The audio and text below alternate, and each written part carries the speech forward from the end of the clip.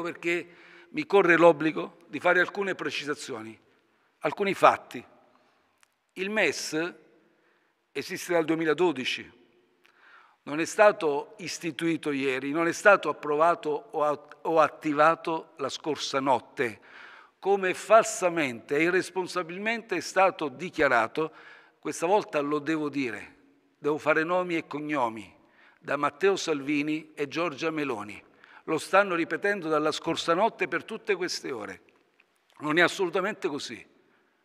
Questo governo non lavora col favore delle tenebre. Questo governo guarda in faccia agli italiani e parla con chiarezza. Se ha qualche proposta da portare, la porta chiaramente guardando negli occhi tutti gli italiani. L'Eurogruppo non ha firmato nulla né ha istituito alcun obbligo. È una menzogna questa.